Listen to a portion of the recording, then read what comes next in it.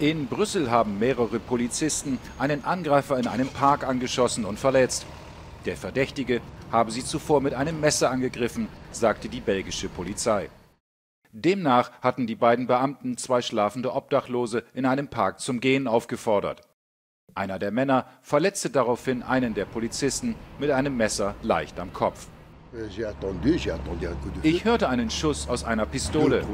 Dann fielen zwei oder drei weitere Schüsse und es fiel ein Messer auf den Boden. Ein Polizist schrie, lass das Messer fallen und der Mann fiel auf den Boden. Die Tat ereignete sich im Brüsseler Maximilianpark, der sich zu einem Treffpunkt für Flüchtlinge entwickelt hat. Der Angreifer wurde mit lebensgefährlichen Verletzungen ins Krankenhaus gebracht.